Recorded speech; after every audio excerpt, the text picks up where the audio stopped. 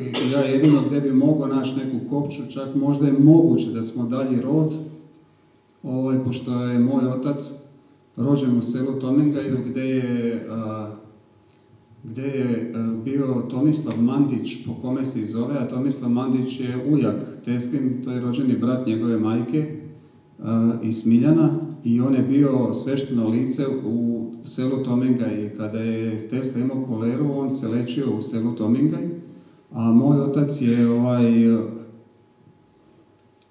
bukvalno su se Čalići ženili sa, sa Mandićima i sa Sovjeljima, ovaj, tako da u tom nekom stablu se dodirujemo, ali ne, ne, ne mogu tvrditi da jeste, ali jako je blizu ta priča. A ovo mi je svakako bitno zato što on jeste princ svetlosti,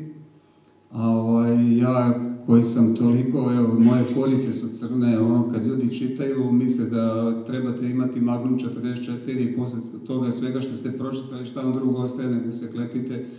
ali ovaj, to nije tačno, ja sve govorim da je tamo samo negativ svetlosti i da mi u stvari čekamo ne Mesiju, nego tog fotografa koji će razviti taj negativ i ovaj, također sam isto na tom putu. Zato je to zovem hod novog svetla.